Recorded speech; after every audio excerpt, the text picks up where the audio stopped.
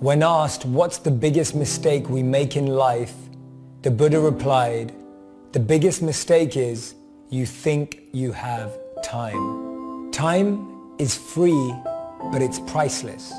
You can't own it, but you can use it. You can't keep it, but you can spend it. And once it's lost, you can never get it back. The average person lives 78 years. We spend 28.3 years of our life sleeping. That's almost a third of our life, but 30% of us struggle to sleep well. We spend 10.5 years of our life working, but over 50% of us want to leave our current jobs. Time is more valuable than money. You can get more money, but you can never get more time. We spend nine years on TV and social media. We spend six years doing chores. We spend four years eating and drinking. We spend three and a half years in education. We spend two and a half years grooming. We spend two and a half years shopping.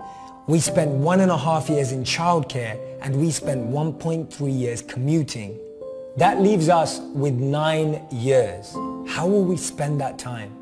Steve Jobs said your time is limited so don't waste it living someone else's life. So there's good news and there's bad news. The bad news is time flies. The good news is you're the pilot. Imagine you wake up every day with $86,400 in your bank account.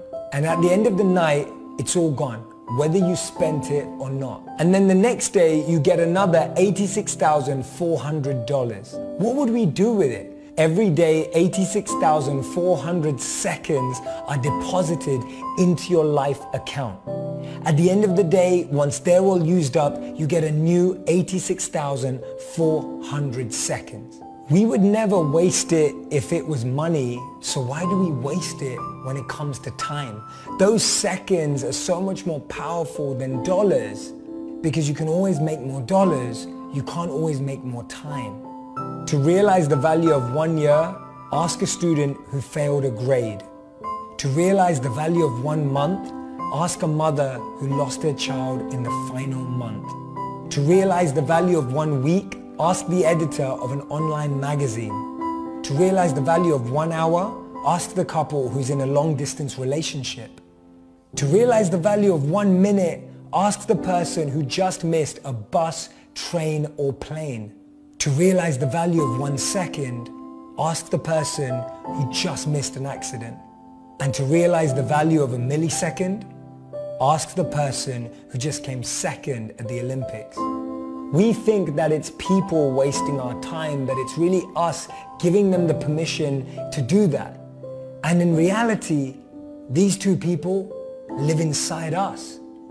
Don't let someone be a priority when all you are to them is an option. Some of us lose the people most important to us because we don't value their time. Some of us don't recognize how important someone is to us until they're gone. Inside all of us are two voices.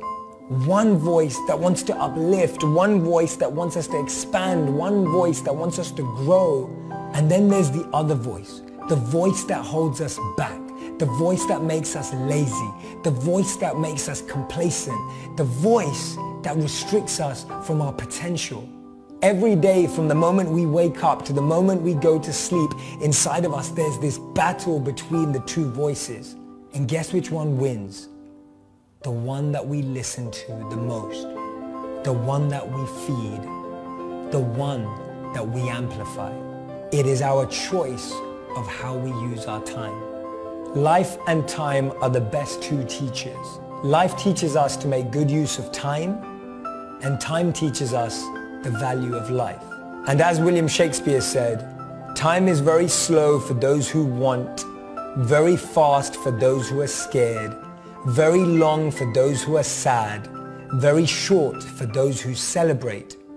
But for those who love, time is eternal.